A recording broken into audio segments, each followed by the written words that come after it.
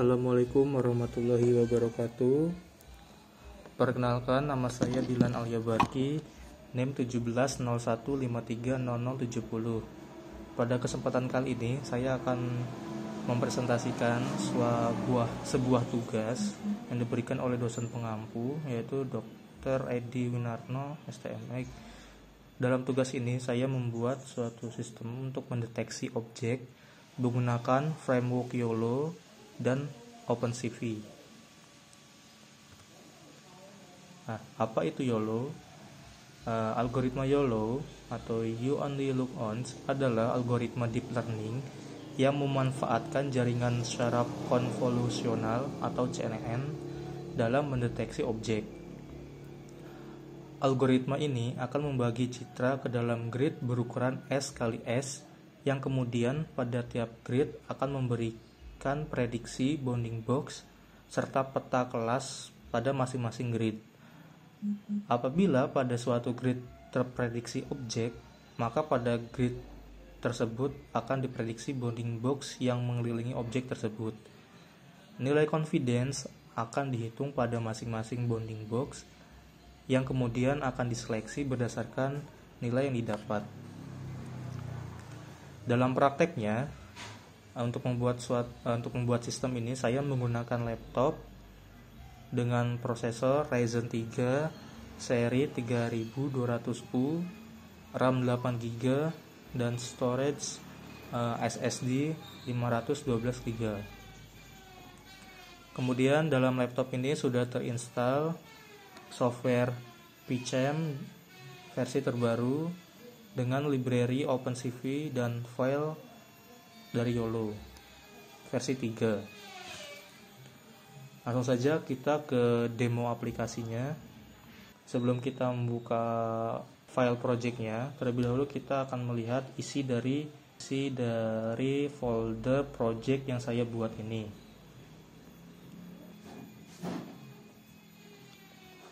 Nah pada folder project yang saya buat ini terdapat file konfigurasi atau file atau file yang berisikan algoritma YOLO.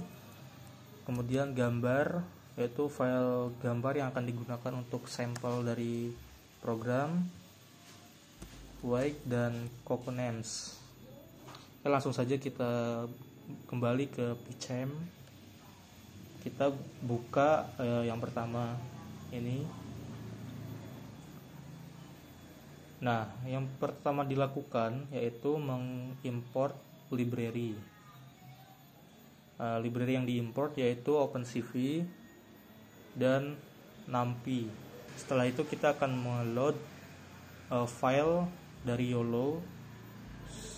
Seper, uh, baik yang pertama ini yaitu lokasi directory dari file ini lokasi directory file setelah itu kita akan meload uh, image akan menambahkan gambar. Sini kita uh, menggunakan sampel gambar 4 kemudian ini kita dapat meresize apabila ukuran gambarnya itu terlalu besar. Nah ini ada show information in on the screen. Uh, pada baris program ini akan menampilkan e, informasi yang akan tampil atau yang akan muncul di layar. Baik itu bounding box beserta dengan e, deteksi yang telah dihasilkan. Nilai nah nilai confidence nilai confidence ini semakin besar nilai confidence maka maka akan semakin akurat e, prediksi yang dilakukan Oke, langsung saja kita jalankan program yang pertama.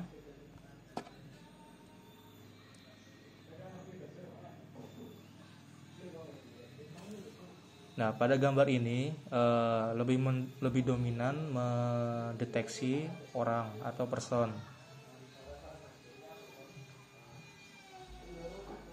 Kemudian kita akan mencoba menggunakan gambar yang lain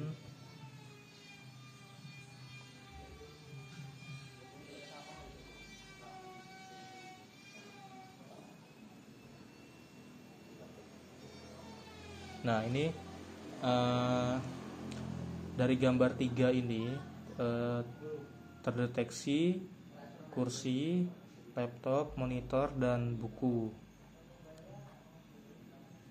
Kita sekali lagi kita akan mencoba menggunakan gambar yang lain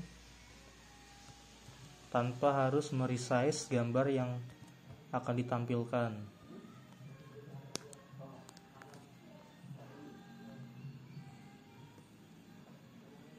Dan hasil deteksinya itu mendeteksi orang, kursi, dan, dan pas bunga. Oke, ini ini uh, program yang pertama. Kemudian kita akan berlanjut ke program kedua. Program yang kedua ini uh, kita akan mendeteksi objek secara real time menggunakan uh, webcam dari laptop.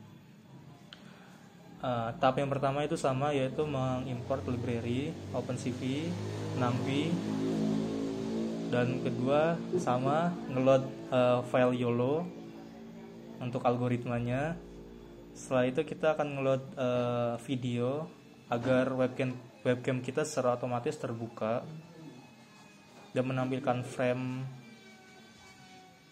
dari video nanti kemudian sama seperti pada program yang pertama program kedua ini akan menampilkan eh, pada program ini akan menampilkan baris informasi yang akan tampil pada tampilan webcam nanti. Nah yang baris di sini berisikan informasi mengenai FPS dari video webcam yang akan ditampilkan uh, untuk mempersingkat waktu langsung saja kita uh, run programnya